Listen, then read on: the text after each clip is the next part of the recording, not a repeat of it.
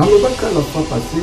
baken piana bazosalelaka baémission na ekeri na bango na bambuta likasu na bapeti na nga valdi navandelaki nga analyse me lelo oyo oyo tosuki wapi natali na moni baken piana base plaindre bazodeplore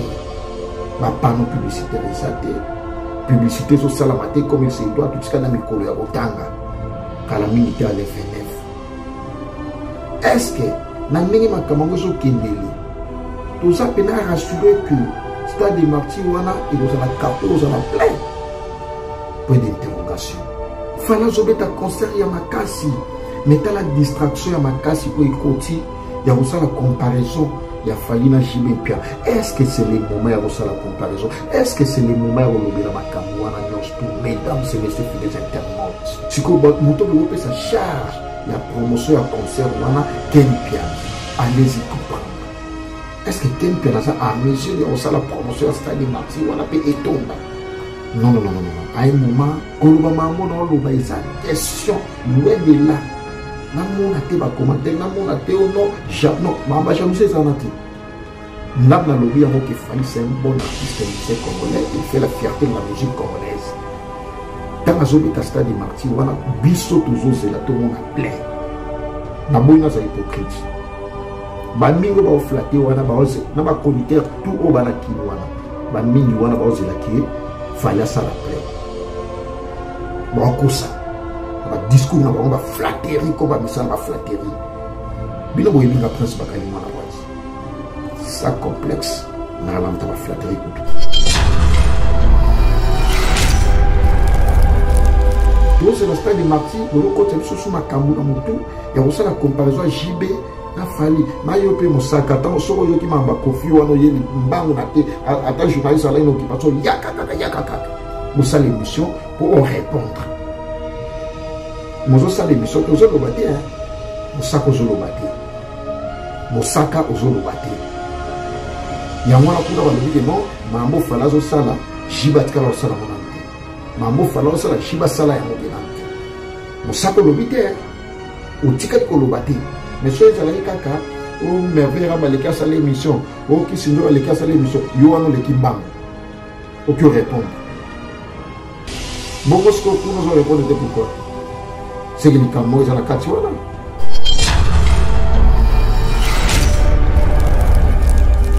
il faut kosunga artiste parce que eza événement ya liboso na vie bawarrior boza boza identité ya artiste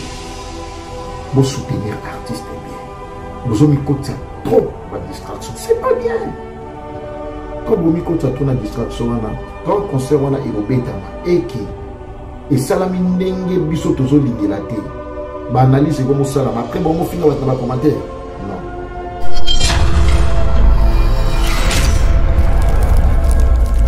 ntango nasalaki analyse tolobela nani par rapport ya événement ya le 29 ya stade martyr ya artiste moise fani nalobaki yango ke totikali na batango te babanderole eza te bapanneau publicitaire eza te stade de martyr eza nde mona veme te stade de martyr eza nde mona pullman te eza nde mona bashobes te eza nde mona bavillage eteba te batriomphale te stade de martyr eza grand libulu oyo ndenge tobengelaka na kini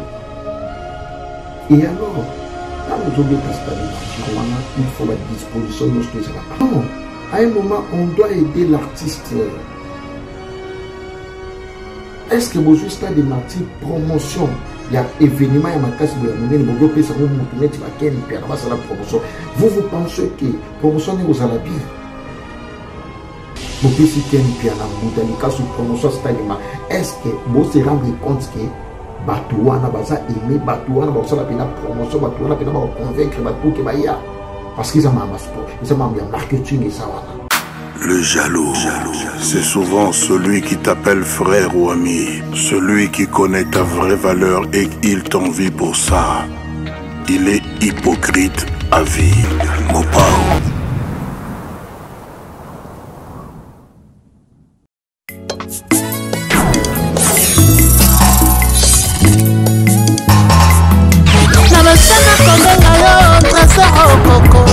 elakisi yo oh, loboka nzambe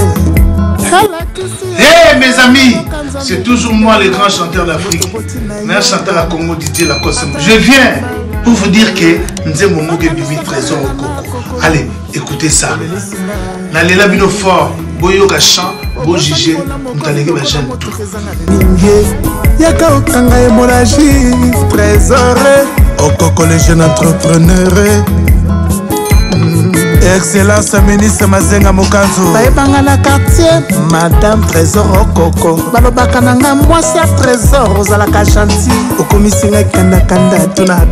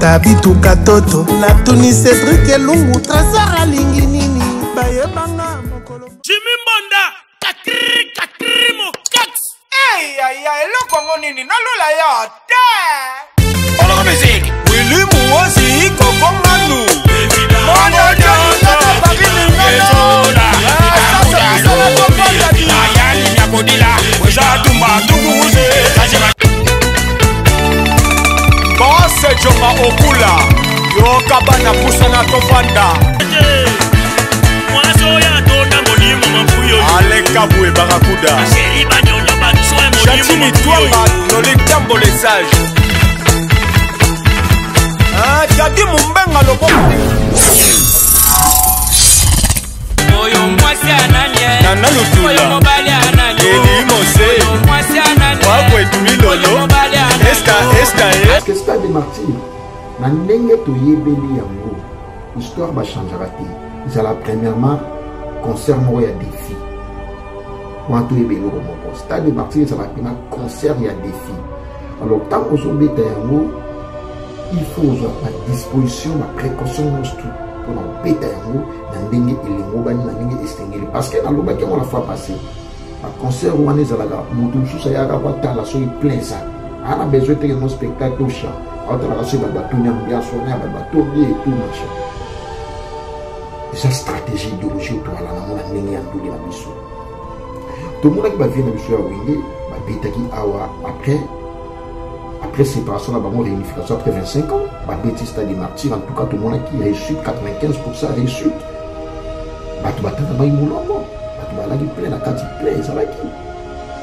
en tout cas ezalaki reçu total eza mpe ndeti kolingela fali azwi initiative ya kobeta stade de martyr tokolinga mpe tomona plein ezali parce que côté chant côté spectacle c'est un artiste musicien c'est un bon artiste musicien mais il faut tomona ye mpe Pour la toute première fois, abeta stade de martyr na carrière na ye depuis alongwa quartier latin international pour la toute première fois abeta stade de martyr tokosouhaite tomona mpe plein ezala tokozala motema mabe te tobaki no aoza mpiaka nonnononono tokosouhaite fali asala plein et alors mpo asala plein wana eza na badisposition eza na bamesure na komona bafuturité koyoka bapropos ya bon entre nous est-il important osala comparaison ya fali na jibe mpiana hmm? eza lokola kosala comparaison ya robino na fali entre nous entre nous robino kosala comparaison ya fali na robino engeli obaki no robino aza musicien te te aza musicien mais soki totali parcours na bango baza nini moko te fala bani musique avant robino koloba bongo elingi oloba teke no baodime robino robino c'est un grand artiste mais ça sala succès meme na ye moko robino ayebi kino fali aza grand mambo fali asali ye asali na ntenge eloba teke aza limite te aza na carrière molai akosala yango eza ndenge moko na jibe mpiana mambo jibe mpiana asali fali asala ona moke fana aza na carrière molai akosala yango ye moko fali aloba respect na bafie na nga wenge bango nde baza idole na ye bafie ya wenge bandal se wenge mais quand vous faites la comparaison entre fali na jb piana entre bobokotia biso na place nini au moment où tozona toze yoka quadra c'est moi kofiolomide je vous le dis avec cœur si vous voulez aller de Bruxelles à Paris de Paris à Bruxelles Aujourd'hui, il y a un moyen que vous devez soutenir. Et un moyen que moi je vous recommande, ça s'appelle Neo Tam Tam. C'est fait de main de maître par un Congolais digne de ce nom. Moi j'ai fait l'expérience et je peux vous dire que l'expérience a été concluante. Donc désormais et dorénavant, pour vos déplacements, si vous voulez faire venir quelqu'un de Paris à Bruxelles, Néo Tam Tam. Déjà, c'est notre devoir dans la diaspora de soutenir les initiatives des compatriotes.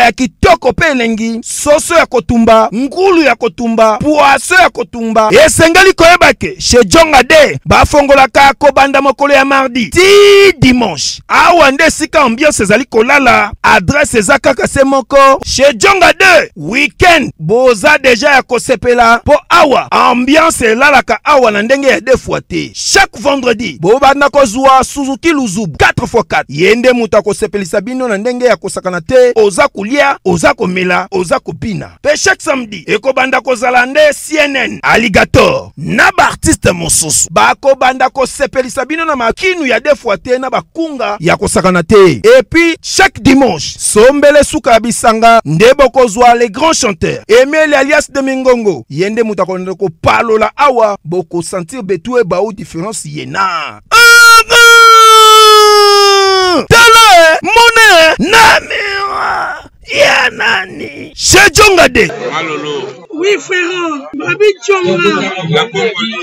Futur, futur, hein? moto akosala 50 boite na kati ya kin sejongaske sejonga soki olingi osala bareservation obengi na banimero oyo mpe bakoservir yo joli kitoko sejonga de yango nde moboko ya ambiance na kati ya paris se naturel soin C'est votre frère Père Condé Israël. Je suis venu vous annoncer l'ouverture des 100 jours de jeûne et prière. Je connais le Dieu d'Abraham, le Dieu d'Isaac, le Dieu d'Israël, le Dieu d'Haïti, Nabala, le Dieu de mon père, Polia Nous croyons à ces dieux-là. Envoyez vos sujets de prière.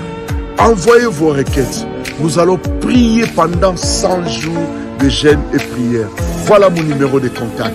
07 66 27 40 0 Vous pouvez vous abonner à notre chaîne YouTube, Sacerdoce TV, sur Facebook, Israël Kondé. Mais voilà notre adresse. Vous pouvez venir nous joindre et priez avec nous chaque mercredi et dimanche de 15h à 18h sur 9 riz de la poterie saint Que mon Dieu vous bénisse.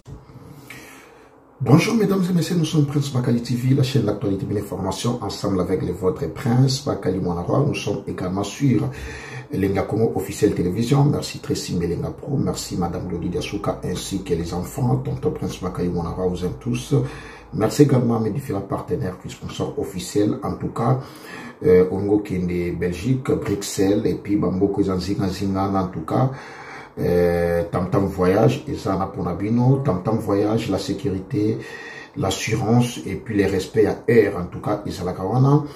bosala voyage na bino avec toute tranquillité sécurité aussi également voyager na kati ya voiture na yo utiliser téléphone na yo faites comme si vous êtes à la maison en tout cas parce que wifi eza impeccable connexion eza impeccable ebegeyaka kutu te merci le boss neotamtam en tout cas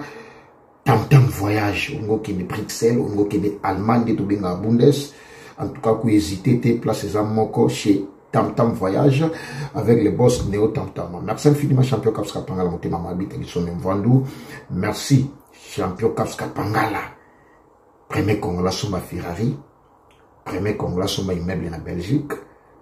motema maapita kisombe mwasi na ye moko azalaka na ye champion caps kapangala mvandu sel congolais azwa mbongo na age ya 16 ans leader ya londres ya gautier mascotte ingénieur de banque le grand producteur ingénieur de banque ya gautier mascotte moto azwa mbongo na age ya 16 ans merci à toi ya gautier mascotte bato nyonso tu baotala prince bakali mwana roi boyeba que epi ndenge nasengaka na bino bomesana na nkombo moko na kati ya finlande le vieux loup ya josé da costa le vieux loup na kati ya finlande wana ya josé da costa patron ya josé da costa mvandu na kati ya finlande boniboni basango ya vie na nga sami samuel papa na obama la parole est argent mais le silence est d'or mama emili nzemba ya tous pepele ya mbetulu azongai déjà london dani charles chinois congolais baplan eyaki boni boni basango ya brino lobika mbongo ya propre matemela nsima ndako ya baleki ebele epuis soki nake kuna na ndenge ya france omona bayawili pensiene le bailleur de fonds yawili pensiene ya na nga ya bedo pensiene ya na nga champion wa dol mokonzi ya la rochelle ebongo keni mbumba arme lourd na à Bordeaux. Merci à toi, Kenny Armelo. Fidèles internautes, ça euh, pour autant poser la parole. En tout cas, je sais que vous êtes très nombreux en train de regarder les vôtres, Prince Bakalimwana Roi. Je suis là pour vous expliciter certaines zones d'ombre pour euh, le plaisir de Yannick Kayenga, la monnaie invisible. En tout cas, fidèles internautes, Batubabi Ningamwa trop. bato babi prince bakali mwana kwa tolingaka oloba tolingaka yo parce que ozalaka na verité osala mosala avec toute impartialité ozalaka au milieu du village bien que ozalaka mwana roi nabi merci beaucoup merci beaucoup parce que mosala na biso ezalaka bino bozala na positionnement aliment ya bien par rapport ya information par rapport ya actualité par rapport ya baanalyse oyo biso tosalaka Fidèles internautes, toyebi année oyo, toza na trois grands événements. Oyo toza na yango, année oyo. Toza na événement misato. Événement moko au mokili ezozela na mwa oyo toza ya liboso oyo mokili ezozela parce que mwa oyo eza mwa ya evenema oyo mokili ezozela bino boyebi prince bakalinga naza mwana roi ntango nalobaka makambo oyo ezoconcerne culture ya mboka na biso nakosaka te surtout beaucoup plus nazalaka défenseur ya babonne valeur evenema eza moko oyo bato bazozela nani ya liboso to banda nani ya liboso bato bazozela avec une attention particulière botuna nge eza wapi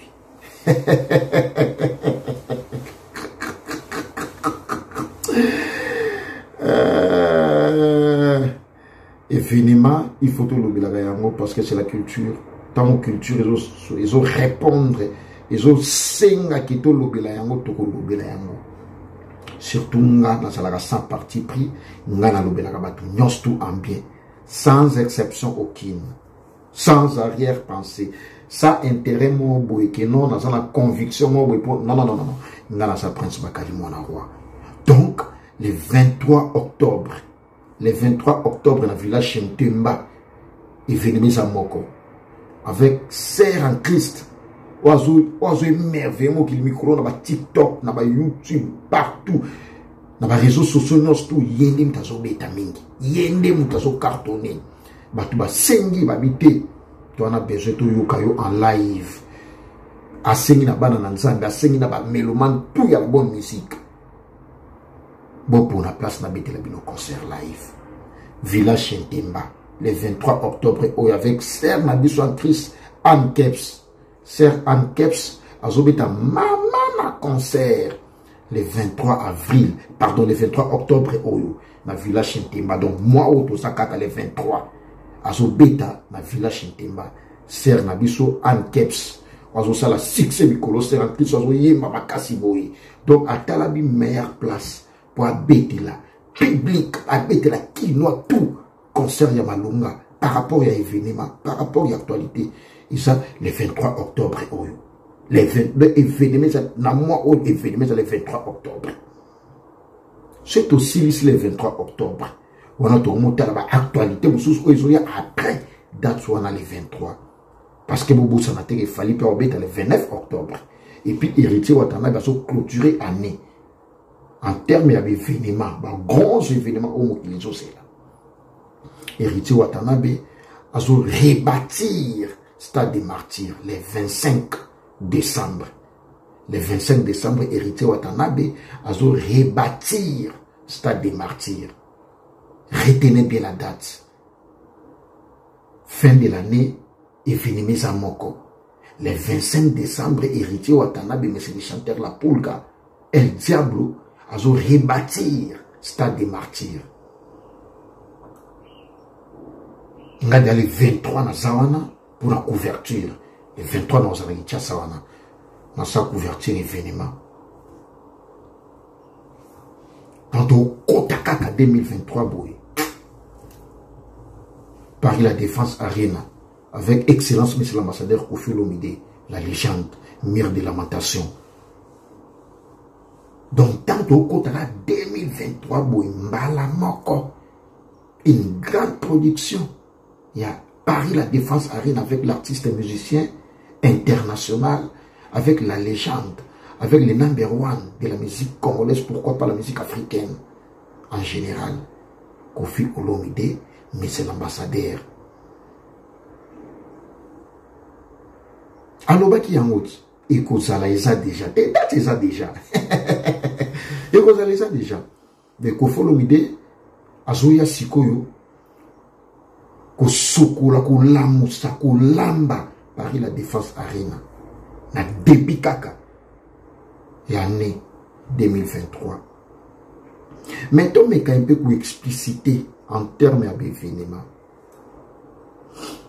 namoni nalobaki la fois passé mais comme ya ceux qui m'en veulent souvent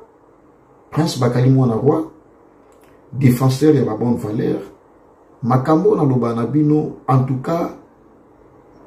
botalaka yango avec, ben, avec un œil plein de gravité botala yango avec discernement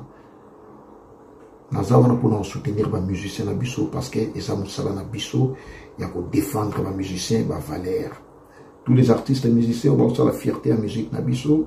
nga prince bakali nazalaka défenseur na bango oyo nyonso baza na département ya musique nga prince bakali nazalaka wana mpo na kosala fierté na bango aussi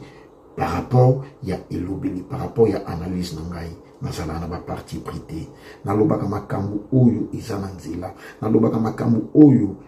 au plus tard bopesaka nga raison ntango nasalaki analyse tolobela nani par rapport ya événement ya le 29 ya stade de martyr ya artiste moise fali popa nalobaki yango ke totikali na bata moke babanderole eza te bapanneau publicitaire eza te stade de martyr eza nde mona veme te stade de martyr eza nde mona pullman te eza nde mona bashobes te eza nde mona bavillage enteba te na batriomphal te Stade de martyr eza grand libulu oyo ndenge tobengelaka na kin et alors ntango ozobeta stade de martyr wana il faut badisposition nyonso to ezala prise parce que stade de martyr na ndenge toyebeli yango histoire ba changera te ezala premièrement concert moko ya défi wana toyeba eloko moko stade de martyr ezalaka mpena concert ya défi alors ntango ozobeta yango il faut ozwa badisposition baprécaution nyonso tout mpo na kobeta yango na ndenge elengobani na ndenge esengeli parce que nalobaki yango la fois passé baconcert wana ezalaka moto mosusu ayaka po atala soki plein eza aa na besoin teke no spectacle ochan aotalaka soki bato batondi ambiance wana ya bato batondi etout mache eza stratégie idéologie otwala nango na ndenge ya ndule na biso tomonaki bavie na biso ya wenge babetaki awa après après séparation na bango réunification après 25 ans babeti stade de martyr en tout cas tomonaki réussite 95 réussite bato batangamaki molongo bato balaki plein na kati plein ezalaki en tout cas ezalaki réussite totale eza mpe ndeti kolingela fali azwi initiative ya kobeta stade de martyr tokolinga mpe tomona plein ezala parce que côté chant côté spectacle c'est un artiste musicien c'est un bon artiste musicien mais il faut tomona ye mpe pour la toute première fois abeta stade de martyr na carrière na ye depuis alongwa quartier latin international pour la toute première fois abeta stade de martyr tokosouhaite tomona mpe plein ezala tokozala motema mabe te tobaki no aosampiaka ah, non non non non tozosouhaite fali asala plein et alors mpo asala plein wana eza na badisposition eza na bamesure nalobaka la fois passé bakeni mpia na baki osalela nga baémission na ekeri na bango na bambuta likasu na bapeti na nga valdi bavandelaki nga analyse me lelo oyo oyo tosuki wapi natali namoni bakeni mpia na baose plaindre bazodeplore bapano publicitaire eza te publicité ezosalama te comme il se doit totika na mikolo ya kotanga kala mingi te ale 29 est ce que na ndenge makambo yango ezokendele toza mpena rassure que stade de martyr wana ekozala carton ekozala plein point d'interrogation non à un moment on doit aider l'artiste est-ce que bozwi stade de martyr promotion ya événement ya makasi boye ya monene bokoki opesa yango motu neti bakeni mpiana basala promotion vous vous pensez que promotion nde kozala bien bopesi ken mpiana mbuta likasu promotion ya stade de martyr est-ce que bose rendre compte que bato wana baza aime bato wana bakosala mpena promotion bato wana mpena bakoconvaincre bato mpo ke baya parce que eza makambo ya sport eza makambo ya marketing eza wana il faut bato baya eza concert te kino baobeta yango mpo bagrandeur wana ezala vide non eza concert ezobetama mpo bato baya sikoyo moto obe kopesa charge ya promotion ya concert wana ken piana allez-y comprendre est ce que ken piana aza à mesure ya kosala promotion ya stade marti wana mpe etonda non non non non non à un moment toyedaka artiste koloba mambo na oloba eza question loin de là namona te bacommentaire namona te o non non mambo ya jalousie eza wana te ngai nalobi yango ke fali c'est un bon artiste musicien congolais il fait la fierté de la musique congolaise ntango azobeta stade de martyr wana biso tozozela tomona plein naboyi naza hypocrite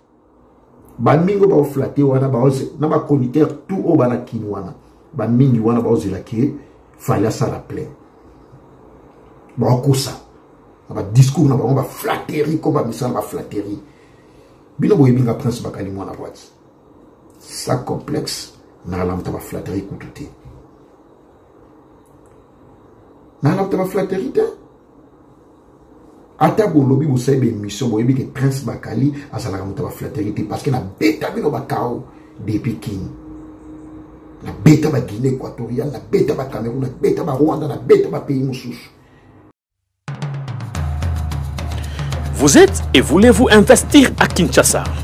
Voulez-vous réjouir de vos business L'opportunité à ne pas rater. Toronto City VIP à Maluku, une des meilleurs endroits pour résider ou implanter votre business. À quelques minutes du fleuve Congo, le fleuve de nos ancêtres, juste en face de la zone économique si spéciale qui est le quartier commercial et industriel de Maluku. Wow, Non loin du centre de ville Maluku, un quartier en pleine expansion, à quelques mètres du Macadam. Toronto City vous propose un terrain de 20 mètres sur 20 avec des bornes cadastrales sur un site accessible, urbanisé, avec espace de jeu, espace vert, magasin, centre médical, marché, etc. Je vous appelle, venez nombrer et acheter. Donc, je voulais juste faire l'appel à nos frères de la diaspora, de partout où vous êtes, en Afrique, en Amérique, à l'Océanie, à l'Europe, en Asie, pour venir acheter les terrains que nous sommes juste en train de morceler vous allez bien voir qu'il y a des bornes, il y a même les travaux qui sont juste en train d'effectuer. Donc eh, le terrain est bel et bien assuré. Il y a l'eau non loin de nous, vous allez voir, derrière moi c'est la régie des eaux. De l'autre côté c'est le site Vodacom. Le Vodacom. Et devant moi c'est juste World Vision. Là où Vision Mondiale sont juste en train aussi à un projet de construire les, maisons pour ces travailleurs. Donc voilà, nous nous sommes ici à Maloukou c'est déjà un endroit habitable. Et les cartes, comme vous allez voir de l'autre côté, c'est déjà habitable. il y a déjà les gens et c'est non loin parmi les, autres cités que vous connaissez déjà. Donc euh, je suis très fier de vous présenter ces produits qui n'est rien d'autre que, oui, nous achetons les voitures, nous achetons tout ce que nous pouvons avoir. Mais avoir une parcelle, c'est vraiment une très bonne, très bonne chose. Pour tout contact, contactez Willy Mafuta au plus 1 90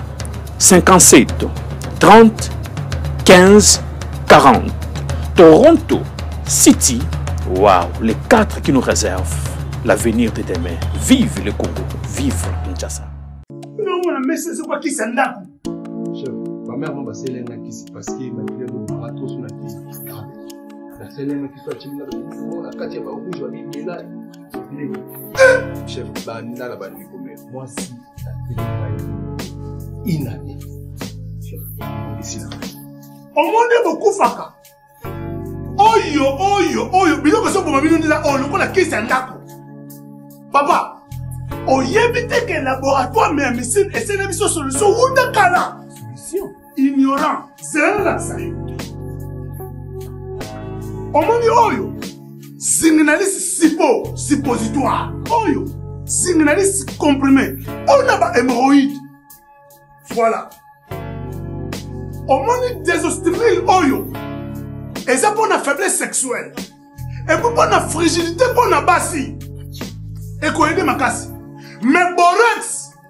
soki osisi traitement nyonso tu ya hémorroïde nde sikoyo okobanda kopakola yango mpo na nzoto ya biso bapapa soki mpo olingi omesire basantimetre no avant banda kopakola mpo mokolo kosilisa okomesire lisusu okomonake box toujours champion okomprendre bakestio nyonso nayakisi yo okozonga esika mosusu te na congo kaka na laboratoire me ya misine epuis esalami na banzete ya congo banzete kaka ya congo banzete mosusu te ya congo nde mama nakosi ye patro kosi te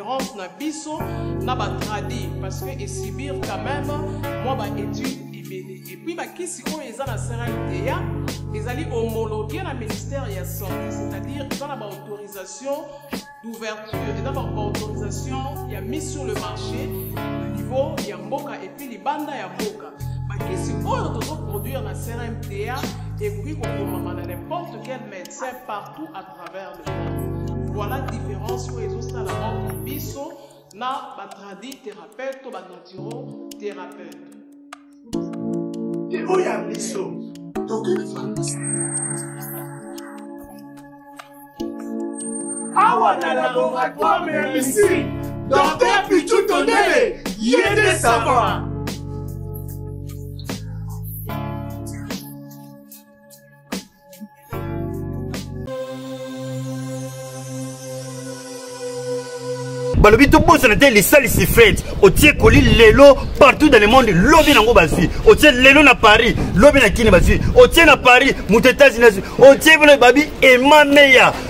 lisalisi fred ya ye mei ema meya otie koli lelo lobi tozwi toyeba valeur ya ema meya sia oyo alingaka vue de loin tindelanga na lisalisi fred otie lelo lobi nazwi ayona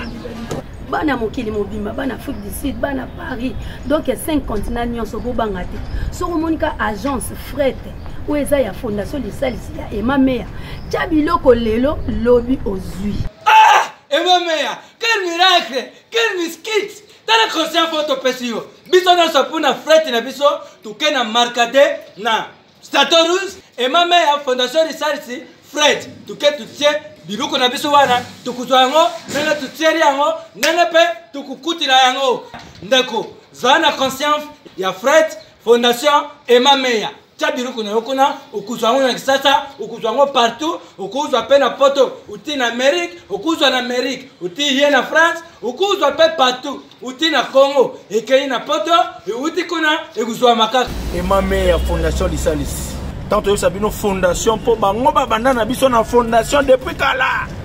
ti lelo tokomi baimmeuble aza kaka wana na biso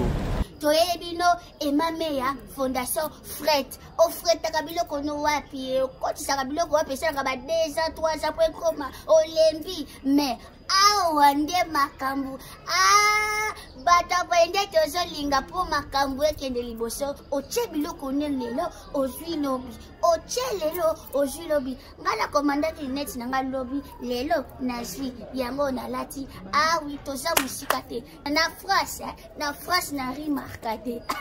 bana chateau rouge bayebi makambo nazolobela bana chateau rouge bayebi makambo nazolobela biso erataka te frete biloko na mituka na yo ndenge olingi frete yango biloko na yo frete awa ah, frete aplis mbongo moke biloko ebele ah emame ya fondation lisalisi frete yo nde makambo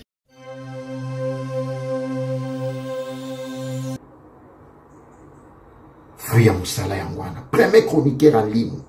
premier chroniqueur en ligne soki baza deux ou trois botangela nga bango premier chroniqueur en ligne avoyage na bamusicien influent ya mboka na biso nga naza le seul et l'unique histoire yango neti ya chronique bobosanaka yango hein? à l'époque ya batiekele pete à l'époque ya bamatika songo bamike lokamba mpe baya koya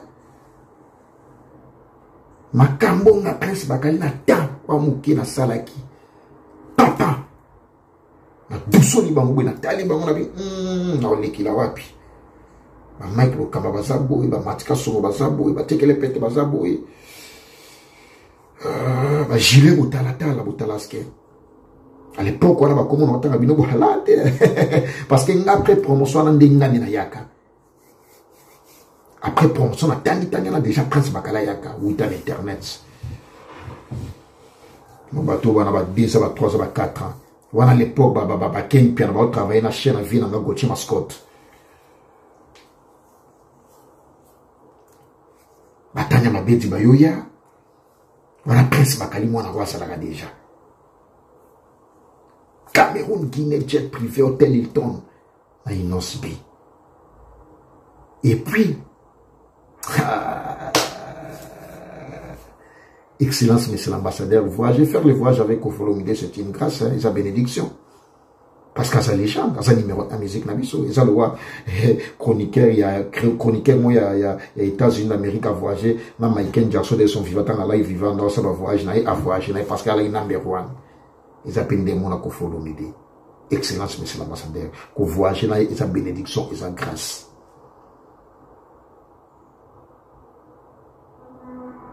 kovoyage eza grâce pour y aller plus loin je, je, je, je peux même vous choquer kofi olomide aleki bato nyonso tu nga mpo na nga kofi olomide aleki bato nyonso tu wana eza na kosi te donc choke bato oyo baza mal compris bato baza ba mal intentionné fala azobeta concert ya makasi me tala distraction ya makasi oyo ekoti ya kosala comparaison ya fali na jb mpia est ce que c'est le moment ya kosala comparaison est ce que c'est le moment ya kolobela makambo wana nyonso tout mesdames et messieurs fidèles internautes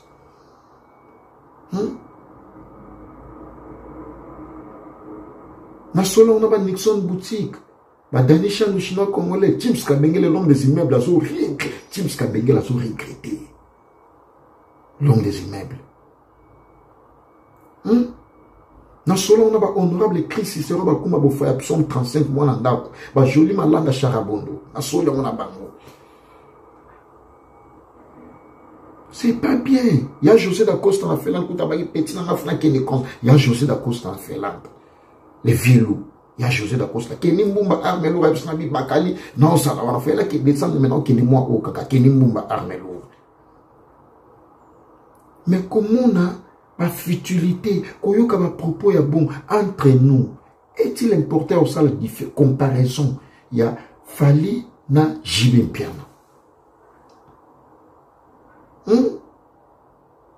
eza lokola kosala comparaison ya robino na fali entre nous entre nous robino kosala comparaison ya fali na robino enge eloba te no robino aza musicien te te aza musicien mais soki totali parcours na bango baza ndenge moko te fala bani musique avant robino koloba bongo elingi oloba te ke no baodimine robino robino c'est un grand artiste mais asala succès meme na ye mo robino ayebi kino fali aza grand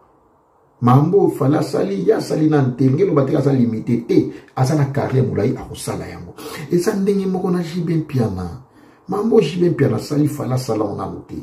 fali aza na carrière molai akosala yango ye moko fali aloba respect na bavie na nga wenge bango nde baza idole na ye bavie ya wenge bandal se wenge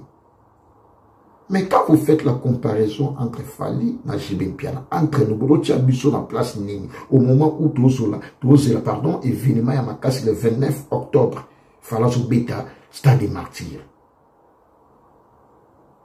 Hein? de tozela stade de martyr bolokota biso so makambo na motu ya kosala comparaison ya jb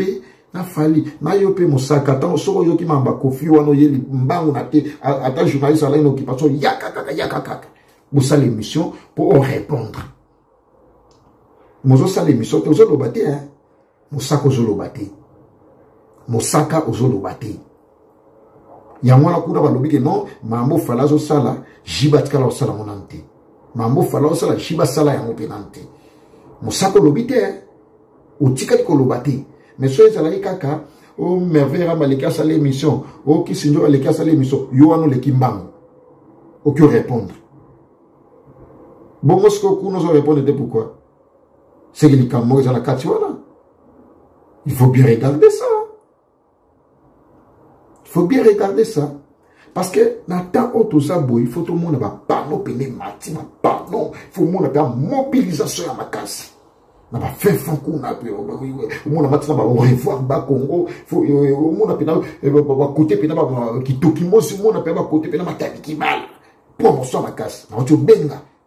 batamata digibala babi koto pene eza mwa olala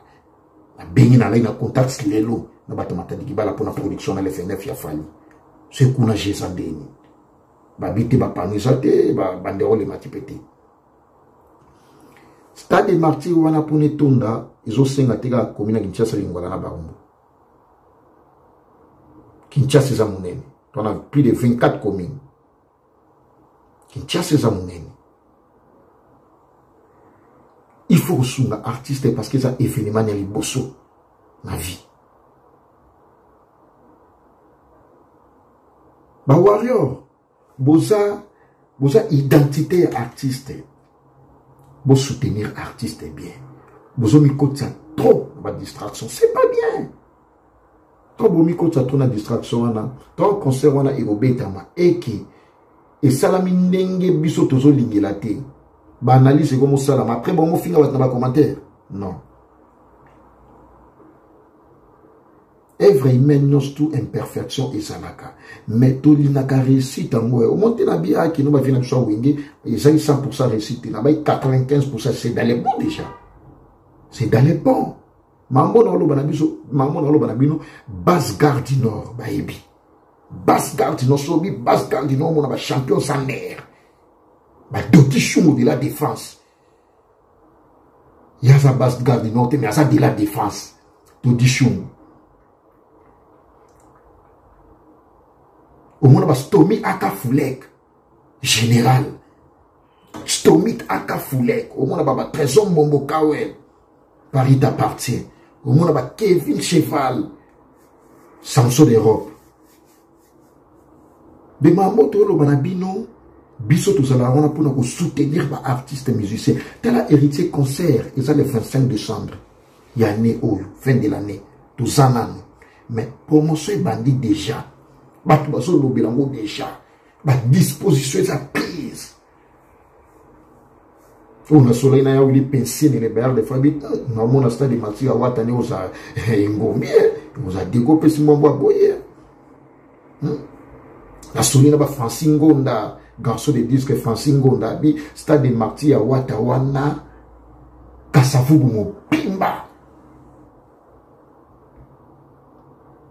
babi bafungola port soki 8 heures kasi eza kaka bafestivité ti le 25 décembre noel ti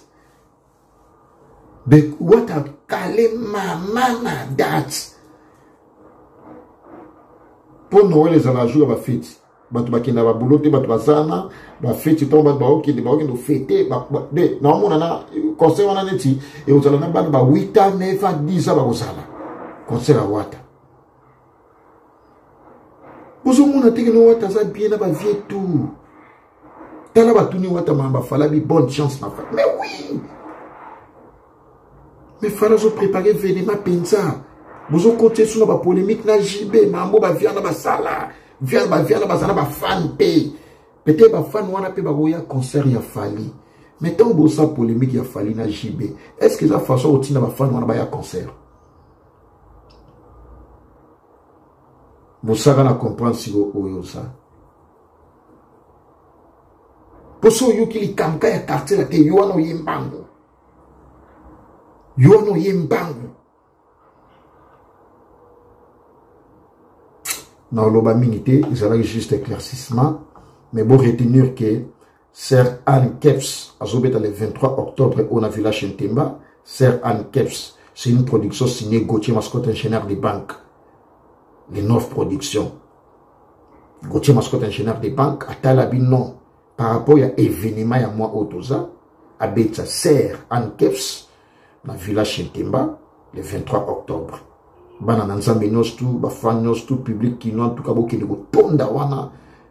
le 23 octobre na village shintemba une production signée gautier mascotte ingénieur de banque sel congolais oyo azwa mbongo na age ya 16 ans merci ya jamal mukuna ya joli minga ya jamal mukuna ya joli menga merci mama emili nzimba ya tous pepele ya mbetolo junior yombo ya gisele zinda gisele zinda ya junior yombo junior yombo ya gisele zinda merci dodi ilunga dollar dollar before dodi ilunga na kati ya la logière dodi ilunga mwasi capable dodi ilunga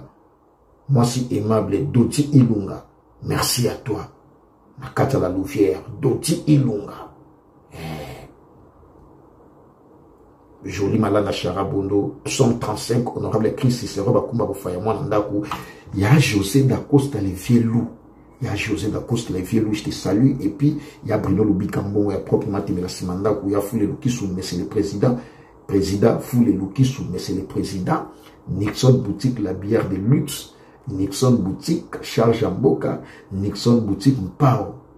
Dani Chandoué, Chinois Congolais. Dani Chandou, Mobala José Monienzi. Dani Chandou, Mwana Komina Kinshasa ya solo solo. Eh, parce que Komina Kinshasa, Barumo Mabele. Biso bana centre ville. Komina Kinshasa Mabele. komi na kinshasa barumbu mabele komi na kinshasa barumbu mabele attention mona ba cedrik aloyi samwisa cedrik aloyi samwisa je te salue bavie na ngai ya flavie panda ya flavie panda ya na ngai ya flavie panda en tout cas prince bakali mwana va le vôtre ezalaki juste na explicité certaines zones d'ombre mpo na plaisir na bino fidèles internautes merci nakozongela bino au prochain numéro avec le même plaisir au revoir bye bye merci beaucoup